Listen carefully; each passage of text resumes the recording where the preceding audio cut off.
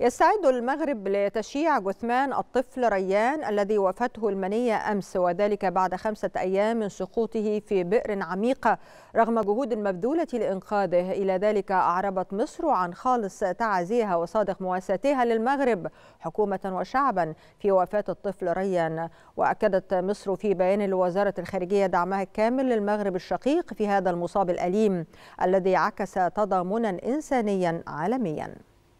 ريان طفل مغربي في الخامسة من عمره خطف أنظار وقلوب البشر حول العالم واحتل عناوين الأخبار. القصة بدأت يوم الثلاثاء الماضي عندما سقط الطفل المغربي الصغير ريان في بئر بقرية إغران بالتلال القريبة من مدينة شفشاون مما استتبع عملية إنقاذ ضخمة جذبت اهتمام العالم. وعلى الرغم من صعوبة عملية الإنقاذ إلا أن الآمال ظلت قائمة لإخراجه حيا حيث باشرت فرق الإنقاذ منذ الأربعاء عملية معقدة للوصول إلى الطفل واجهتها عدة صعوبات أهمها طول البئر البالغ نحو 32 مترا ومحيطه الذي لم يتجاوز 50 سنتيمترا في جزء كبير منه. بمرور الوقت كانت فرص ريان في الحياة تتناقص وجهود العمال تتزايد وسط مخاوف شديدة من انهيار البئر على الطفل الصغير فكان عمال الإنقاذ في